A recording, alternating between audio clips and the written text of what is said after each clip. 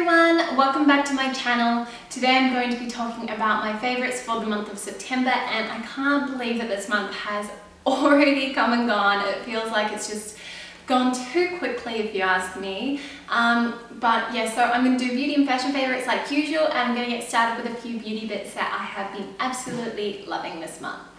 So the first product that I want to talk about, I've actually already done a blog post on, so if you read my blog then you'll already be familiar with this, but it's the Awapuhi Wild Ginger Moisturizing Lather Shampoo and Keratin Intensive Treatment from Paul Mitchell. I love this. I don't even know what else to say about it aside from I absolutely love it. Starting with the shampoo, I think this it smells just like ginger beer in a bottle. It's, it's so nice. It really reminds me of Summers as a young girl and so it's got that really nostalgic element to it which I really like. But that aside, it's actually a wonderful product as well. This lathers up really nicely. I was talking to one of my girlfriends about how I hate shampoos that don't lather up properly. It doesn't feel like it's cleaning your hair. This one you don't need much product and you get a really good lather. It feels like your hair is getting clean, which I love. And then I've also been using the um, Keratin Intensive Treatment. This is a really nice thick treatment. Um, it's kind of a bit um, creamier than some of the other ones that I've tried but I really like it. I find that I get some really great results using this. My hair always feels really nice and soft afterwards.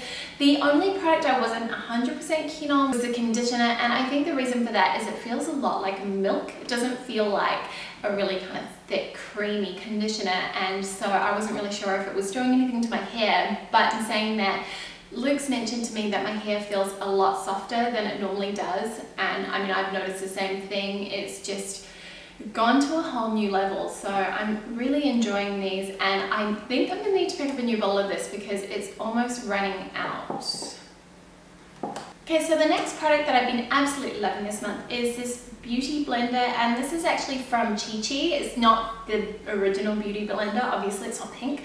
Um, and I kind of picked this up on a whim. I thought, you know what, everyone is going on about sponges and beauty blenders. I'm just going to give it a go and I'll see what I think. And I actually really like it. I really like the texture of this. It's really light and fluffy. And I find that when I'm kind of, you know, bopping the moisturizer or foundation into my skin, this just gives a really nice kind of glowy finish and it doesn't look greasy or anything like that. And I also find that the product sort of shares out a little bit. I don't like a very heavy looking foundation just as I don't really need too much coverage on my face. I'm kind of lucky in the sense that I've got quite even skin tone um, aside from a little bit of redness here which is due to eczema but yeah, I just really like the way that this makes my skin look. It's just so natural and looks almost flawless with pretty much every single product that I've tried it with. I actually really would like to try the original Beauty Blender and just kind of see how that works, you know, in comparison to this and sort of see if there is a difference because I have heard a lot of people say that the original Beauty Blender is the best, but at the moment I'm still kind of skeptical. So yeah, I might give that a go, but I have really been liking this for application. I recently ran out of my makeup remover so I decided it was time that I buy a new one and I had tried a sample from Aesop and I sort of thought you know what I'm going to give that a go and actually go and purchase the full size. So it's the Aesop Remove and this is just such an incredible makeup remover. I find it is so gentle. It doesn't leave that kind of stinging feeling in your eyes, which I feel like you can get with quite a lot of makeup removers.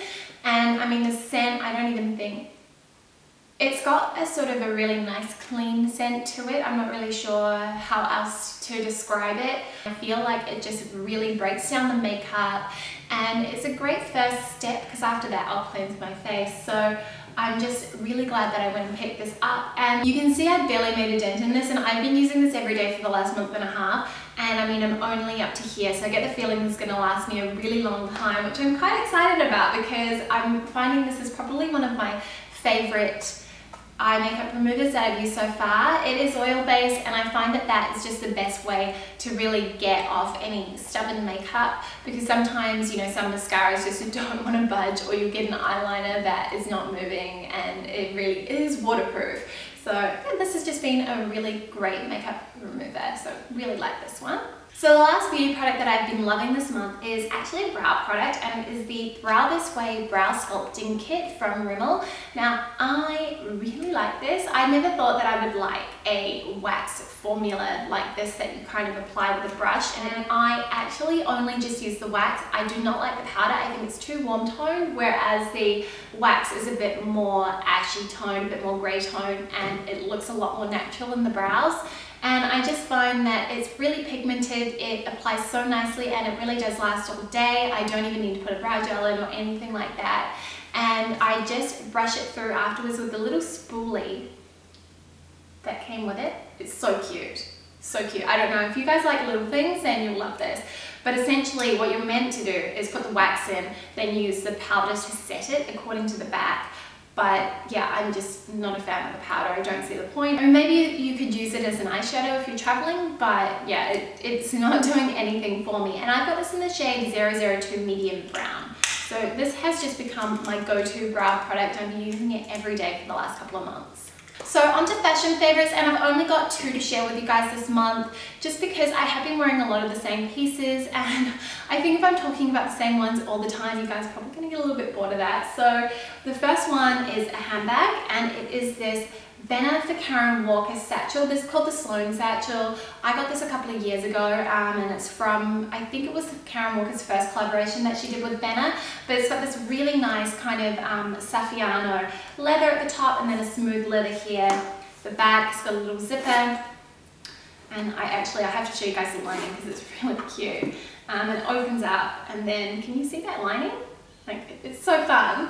Uh, but this is just a really great size and I find that it's so handy to just throw on. I really like adding a bit of colour with my accessories when it comes into the spring summer months just because it is getting warmer and I don't want to be wearing black and white all the time. So this has just kind of become one of those things that I've been using a lot recently and I think it is a great size. I can fit most of the things in it that I need. And yeah it's just been one of those things that I have been reaching for a lot then the next item I want to talk about is actually also from Karen Walker and it is the Havilland skirt. I think that's how you pronounce it. It's this really cute lilac skirt. It's full skirt, high-waisted and it's got this really cool kind of round zipper at the back. It feels very 70s to me and the whole collection is very 70s inspired. There's lots of psychedelic prints, that kind of thing, which aren't really my jam, but I do really like this. And it's got kind of some cute little pockets in the front too.